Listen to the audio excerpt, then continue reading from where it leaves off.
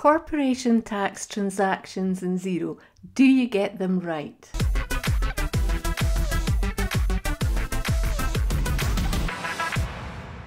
The reason I'm asking is because many people don't. Watch this video and you'll see what you need to do when you're entering corporation transactions in Xero.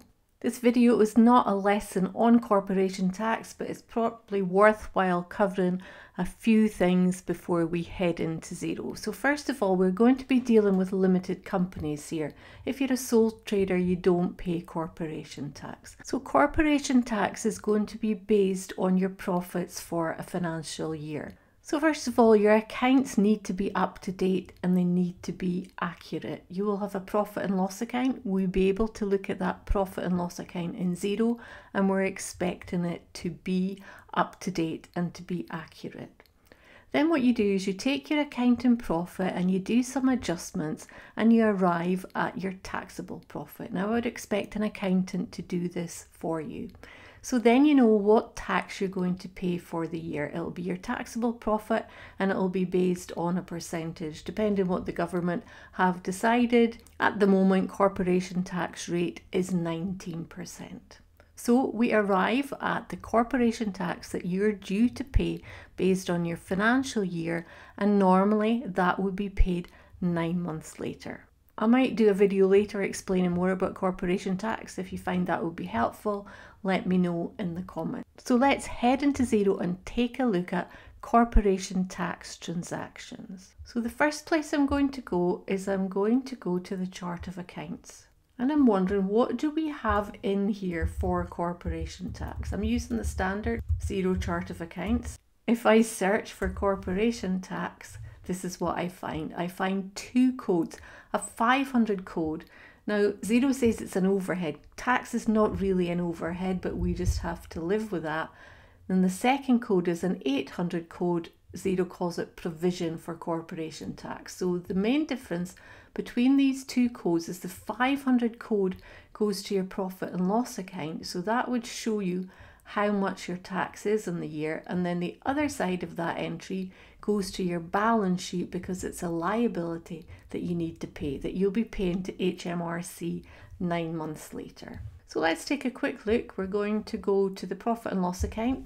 I'm using the new style reports as much as possible because we know that the old style ones are going to be retired.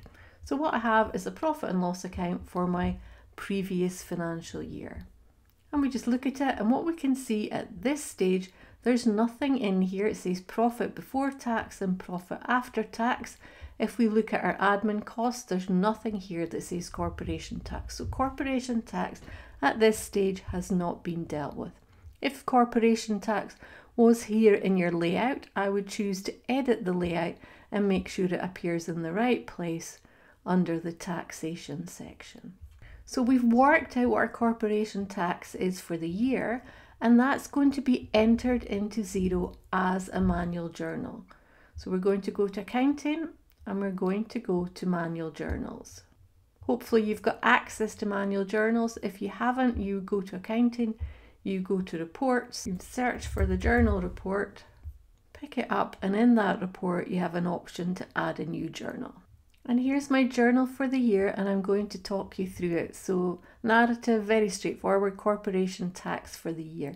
The date of the journal is going to be the year end date. In my case, my year end is the 30th of April. So 30th of April 22 and there's simply going to be two lines on my journal.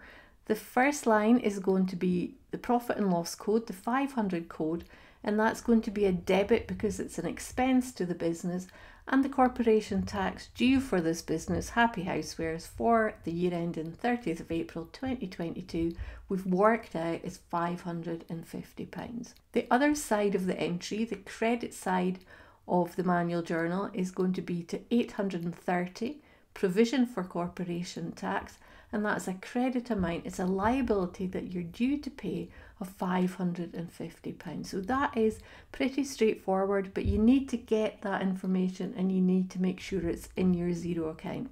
If you're a business owner doing your own accounting in Xero, you probably need to get this from your accountant, or your accountant might have access to your Xero and might enter this journal. So we're going to post and that's the journal entered. So what changes now is when we go back to our profit and loss account, still for the previous financial year, when we scroll down, we've got our admin costs as before, and now in the taxation section, we have corporation tax of 550 and our profit after tax 3758. So that's the first thing that you would expect to be entered in Xero for corporation tax.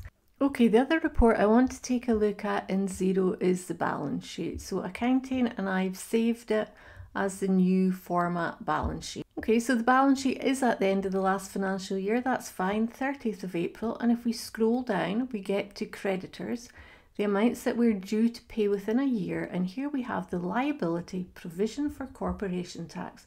We can see our £550 shown there. So fast forward, and this is not due to be paid for nine months, but what we've actually done, we've paid it a bit earlier simply because I'm not nine months past the 30th of April recording this today. So I'm going to say that we made the payment to HMRC on the 31st of August. So it's going to feed through, we've got a bank feed, it's going to feed into Xero, and all that we need to do is code it. So we're on the Create tab, it's not difficult. The payment is to HMRC. Oh, we've not paid them before. That's interesting. We'll say a new contact. Hopefully you will have HMRC set up already. And then we're looking for a tax code. So if we type the word corp, and this is where so many Xero users get this wrong. Why wouldn't you pick up code 500? And the reason is because the code 500 is the cost that's already been entered in Xero and what we want to do here is we want to pick up the provision for corporation tax. So it's the 800 code that we want. And you can put a description if you want. Corporation tax for year end 30th of April 2022 and I'm going to say okay. So if we go back to our balance sheet and it's defaulting to last year so there isn't any change it's going to show the 550 but if we change the date let's choose the end of last month update and now when we look carefully down to the creditors section there's nothing due for corporation tax the other interesting thing if we go to accounting and to the profit and loss account. And this time I'm going to say the current financial year. There's not a lot in here at all, but there's nothing in here for corporation tax. Whereas if you had made a mistake, if you had coded your payment incorrectly, the £550 would appear as if it was a cost for the current year, and that is clearly incorrect. So let's do a very quick recap to the chart of accounts if we search for corporation tax, we've got two codes for corporation tax. Code 500 is your profit and loss code, and you would expect a manual journal to be entered there with the amount that's due relating to a financial year. Then also your manual journal will show the liability that you're due to pay to HMRC. That will go to code 830 and when you make your payment to HMRC, this is the important thing, make sure that you code it to 830 not to, as so many people do, code 500. Hope you find the video useful and remember I'm always available for one-to-one -one coaching if you need that. Until the next video, happy Xeroing.